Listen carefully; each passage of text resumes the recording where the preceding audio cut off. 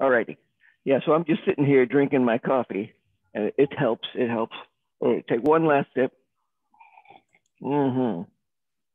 Okay, now we're ready. So here we go. The Gift of the Magi by O. Henry. One dollar and 87 cents. That was all. And 60 cents of it was in pennies. Pennies saved one and two at a time by bulldozing the grocer and the vegetable man and the butcher until one's cheeks burned with the silent imputation of parsimony that such close dealing implied. Three times Della counted it one dollar and 87 cents. And the next day would be Christmas. There was clearly nothing to do but flop down on the shabby little couch and howl. So Della did it, which instigates the moral reflection that life is made up of sobs, sniffles, and smiles, with sniffles predominating. While the mistress of the home, while the mistress of the home is gradually subsiding from the first stage to the second, take a look at the home. A furnished flat at $8 per week. It did not exactly beggar description, but it certainly had that word on the lookout for the mendicancy squad. In the vestibule below was a letterbox into which no letter would go, and an electric button from which no mortal finger could coax a ring. Also appertaining thereunto was a card bearing the name Mr. James Dillingham Young. The Dillingham had been flung to the breeze during a former period of prosperity when its possessor was being paid $30 per week. Now, when the income was shrunk to $20, though, they were thinking seriously of contracting to a modest and unassuming D. But Whenever Mr. James Dillingham Young came home and reached his flat above, he was called Jim and greatly hugged by Mrs. James Dillingham Young, already interest, introduced to you as Della, which is all very good. Della finished her cry and attended to her cheeks with the powder rag. She stood by the window and looked out dully at a gray cat walking a gray fence in a gray backyard. Tomorrow would be Christmas Day, and she had only a dollar and 87 cents with which to buy Jim a present. She had been saving every penny she could for months with this result. $20 a week doesn't go far. Expenses had been greater than she had calculated. They always are. Only a dollar 87 to buy a present for Jim. Her Jim. Many a happy hour she had spent planning for something nice for him, something fine and rare and sterling, something just a little bit near to being worthy of the honor of being owned by Jim. There was a pier glass between the windows of the room. Perhaps you have seen a pier glass in an $8 flat. A very thin and very agile person may, by observing his reflection in a rapid sequence of longitudinal strips, obtain a fairly accurate conception of his looks. Della, being slender, had mastered the art. Suddenly, she whirled from the window and stood before the glass. Her eyes were shining brilliantly, but her face had lost its color within 20 seconds. Rapidly, she pulled down her hair and let it fall to its full length. Now, there were two possessions of the James Dillingham Youngs in which they both took a mighty pride. One was Jim's gold watch that had been his father's and his grandfather's. The other was Della's hair. Had the Queen of Sheba lived in the flat across the air shaft, Della would have let her hair hang out the window someday to dry, just to depreciate her majesty's jewels and gifts. Had King Solomon been the janitor. With all his treasures piled up in the basement, Jim would have pulled out his watch every time he passed, just to see him pluck at his beard from envy.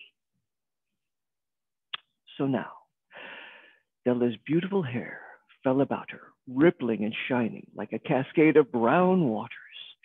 It reached below her knee and made itself almost a garment for her. And then she did it up again nervously and quickly. Once she faltered for a minute and stood still while a tear or two splashed on the worn red carpet. On went her old brown jacket. On went her old brown hat. With a whirl of skirts and with a brilliant sparkle still in her eyes, she fluttered out the door and down the stairs to the street. When she stopped, the sign read, Madame Sofronie, hair goods of all kinds. One flight up Della ran and collected herself, panting. Madame, large, too white, chilly, hardly looking the Sofronie.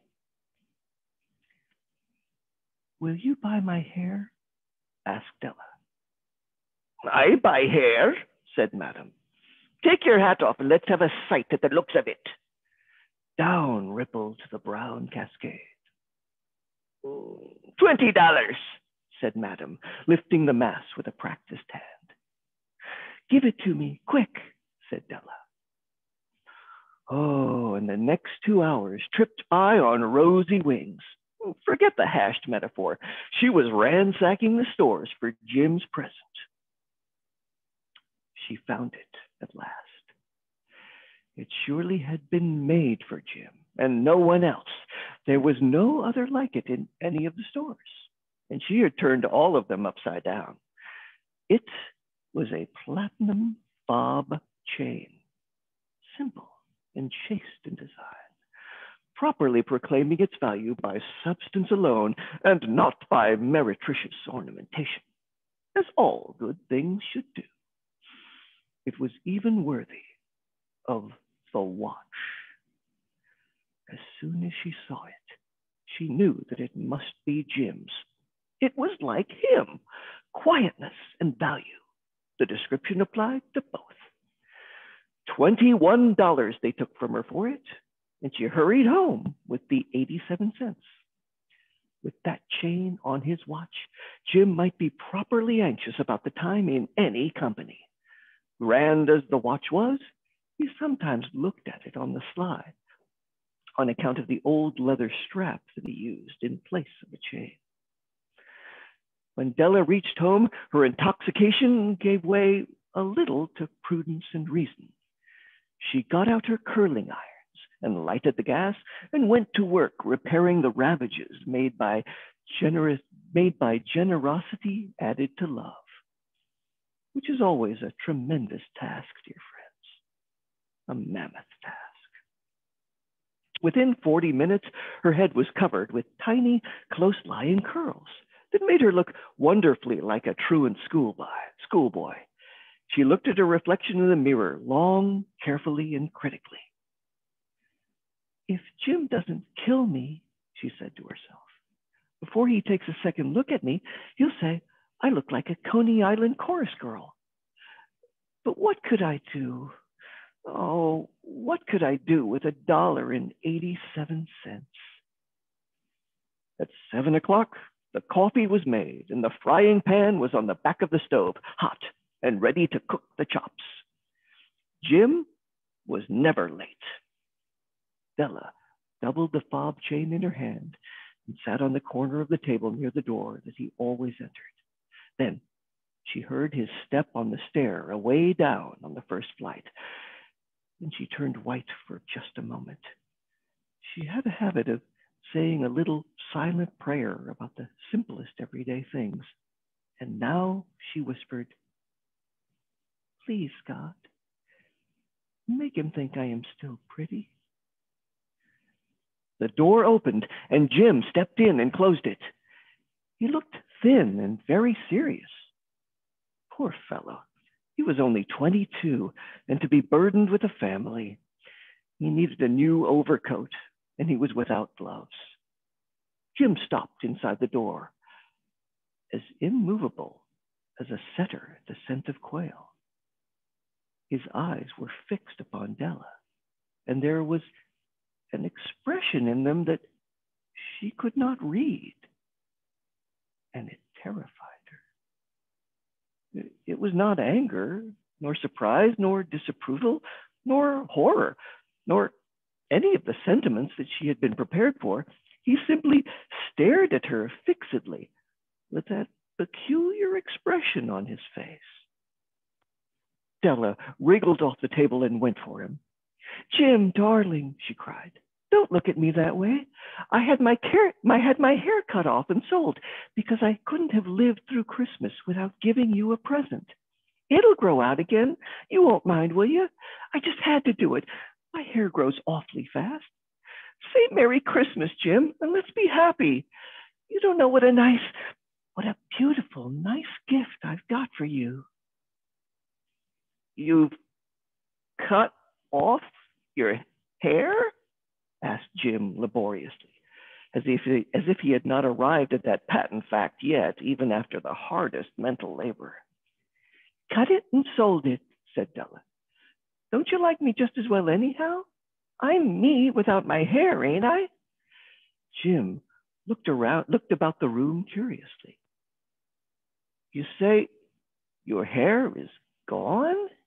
He said, with an air almost of idiocy.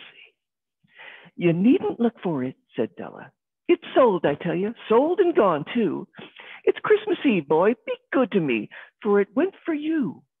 Maybe the hairs of my head were numbered, she went on with sudden sweet seriousness, but nobody could ever count my love for you. Shall I put the chops on, Jim? Out of his trance, Jim seemed quickly to wake. He enfolded his Della. For 10 seconds, let us regard with discreet scrutiny some inconsequential object in the other direction. $8 a week or a million a year. What is the difference? A mathematician or a wit would give you the wrong answer. The Magi brought valuable gifts, but that was not among them. This dark assertion will be illuminated later on. Jim drew a package from his overcoat pocket and threw it upon the table. Don't make any mistake, Dell, he said, about me. I don't think there's anything in the way of a haircut or a shave or a shampoo that could make me like my girl any less. But if you'll unwrap that package, you may see why you had me going a while at first.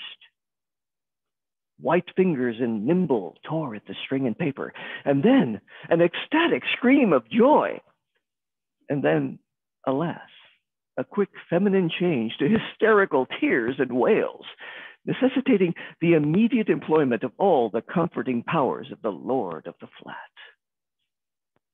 For there lay the combs, hmm. the set of combs side and back that Della had worshipped long in a Broadway window. Beautiful combs, pure tortoise shell with jeweled rims, just the shade to wear in the beautiful vanished hair. They were expensive combs, she knew, and her heart had simply craved and yearned over them without the least hope of possession. And now they were hers. But the tresses that should have adorned the coveted ornaments, uh, uh, the coveted adornments, were gone. But she hugged them to her bosom and at length, she was able to look up with dim eyes and a smile and say, My hair grows so fast, Jim. And then Della leaped up like a little singed cat and cried, Oh, oh! Jim had not yet seen his beautiful present. She held it out to him eagerly upon her open palm. The dull, precious metal seemed to flash with the reflection of her bright and ardent spirit. Isn't it dandy, Jim? I hunted all over town to find it. You'll have to look at the time a hundred times a day now. Give me your watch. I want to see how it looks on it. instead of obeying, Jim tumbled down on the couch and put his hand under the back of his head and smiled. Dell, he said, let's put our Christmas presents away and keep them a while. They're too nice to use. They're nice. They're too nice to use just at present. I sold the watch to get the money to buy your combs. And now, suppose you put the chops on. The Magi, as you know, were wise men, wonderfully wise men, who brought gifts to the babe in the manger. They invented the art of giving Christmas presents. Being wise, their gifts were no doubt wise ones, possibly bearing the privilege of exchange in case of duplication. And here I have lamely related to you the uneventful chronicle of two foolish children in a flat who most unwisely sacrificed for each other the greatest treasures of their house. But in a last word to the wise of these days, let it be said that of all who give gifts, these two were the wisest. Of all who give and receive gifts, such as they are wisest. Everywhere, they are wisest. They are the Magi.